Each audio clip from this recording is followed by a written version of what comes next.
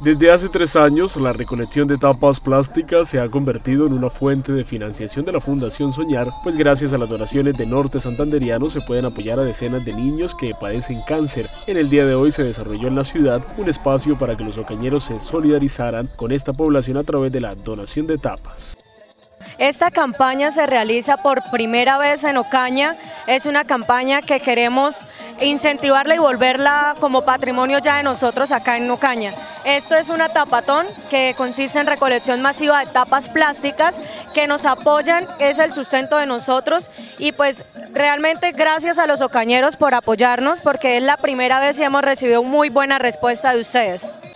Gracias a las donaciones, los 58 niños que actualmente atiende la fundación podrán recibir atención psicosocial, complementos nutricionales, jornadas recreativas, entre otros beneficios.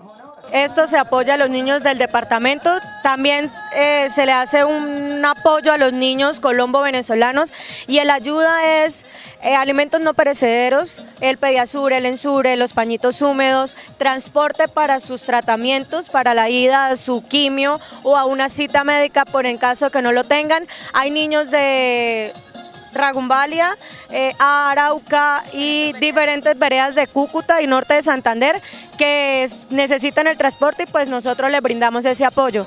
Las tapas recolectadas son vendidas en una recuperadora y esos recursos se invierten en la atención de los niños de la Fundación Soñar.